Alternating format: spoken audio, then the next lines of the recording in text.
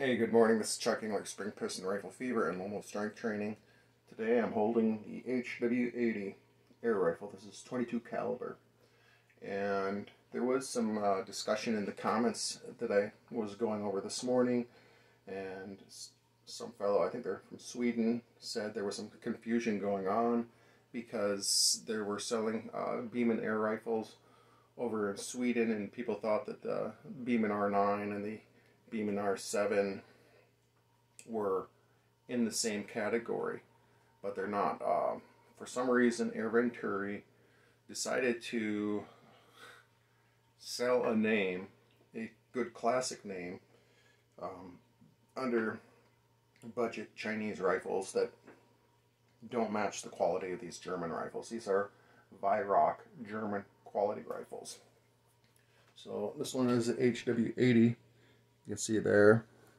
Never put moly grease on your joint, otherwise it's going to take your bluing off just like that. So, I'm going to tell you the history of what I know about all this, as best as I know. Apparently there was a fellow named Dr. Robert Beeman. He loved uh, air rifles, and he uh, was friends with the Weihrauchs.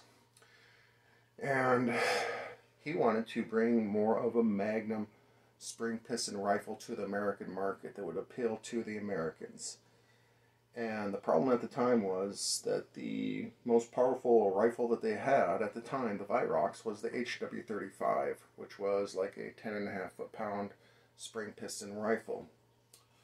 So Dr. Robert Beeman got involved with them and brought in some of his engineers and they designed the Beeman R1.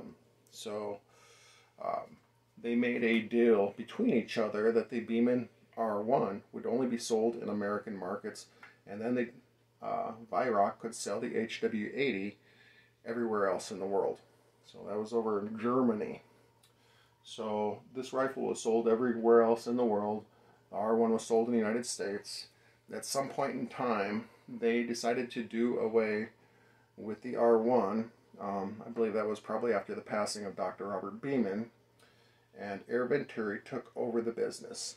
And that apparently that was happened happened when Air Venturi had the business. And hold it this way so you can see this side from the cheek riser. So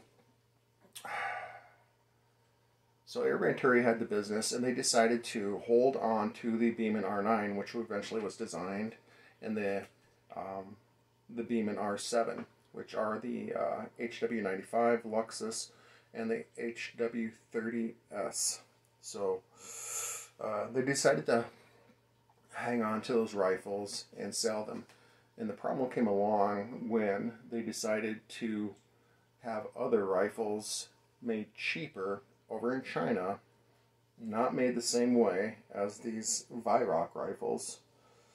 Uh, and now there's confusion over that. So if you're buying a Beeman air rifle, it may not be. Um, it's not. It's not a German rifle unless it says um, the R9, R1, or R7. So that's about all I can tell you about that. So basically, the HW80 minus the latch lever is the, like a big, oversized HW35. So the HW35 has the same size compression chamber um, same design on the uh, compression tube where you unscrew it down back here. Only difference is they have a latch lock up here. So I hope that I cleared some of the confusion. Um, I wish Air Venturi would have not um, did that. And that's that's a problem with distributors. They sell under some high name and they make junk sort of like Ruger.